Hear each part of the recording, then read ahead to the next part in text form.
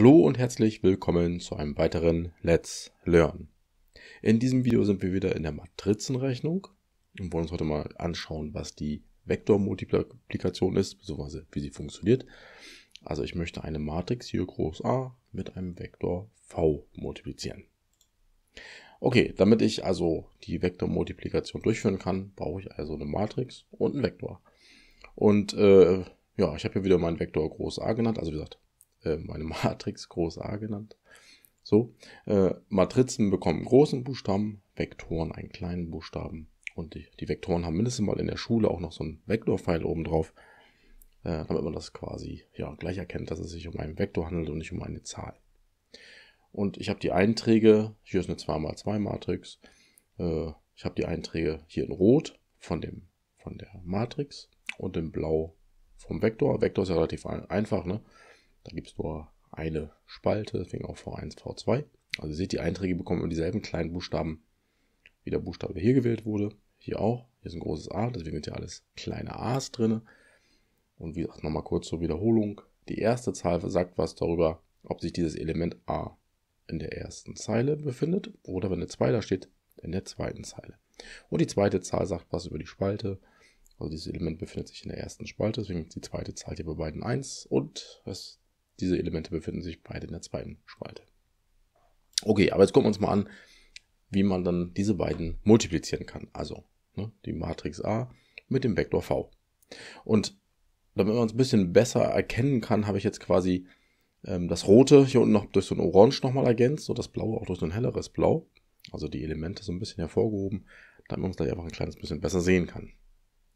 Okay, wenn ich also eine Matrix und einen Vektor multiplizieren möchte, dann geht das wie folgt. Ich nehme das erste Element oben links und multipliziere das mit dem ersten aus dem Vektor.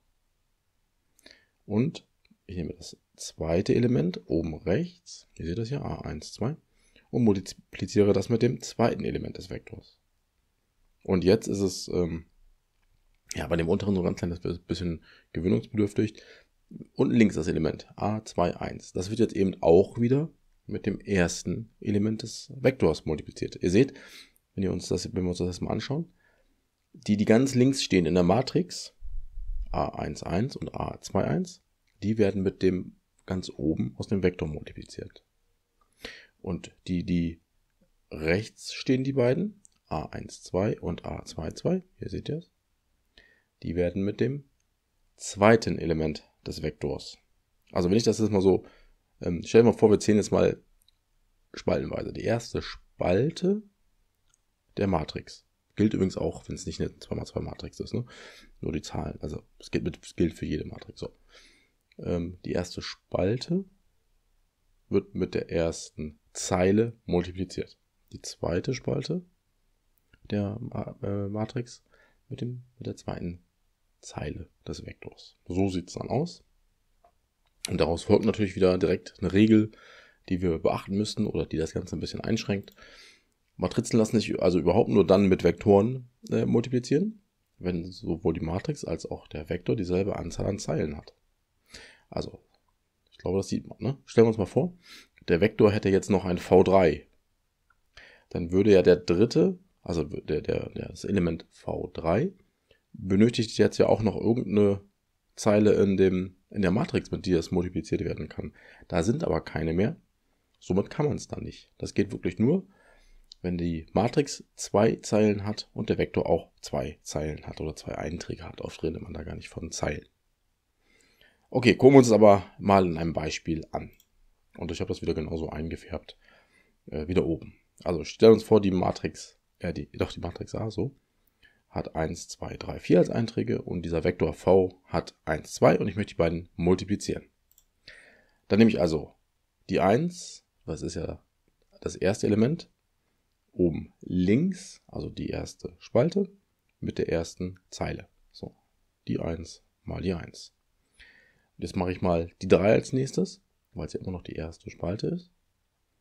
Ich kann auch dieses Element der ersten Spalte mit da oben der ersten Zeile. 3 mal 1. Ihr seht, ne, hier steht immer V1. Also hier steht immer V1. Und hier kommen einfach die Einträge, die zur Matrix gehören. Hier seht ihr das. Und auf der rechten Seite, achso, und ich schreibe es natürlich genau wieder an die Position, wo es hingehört.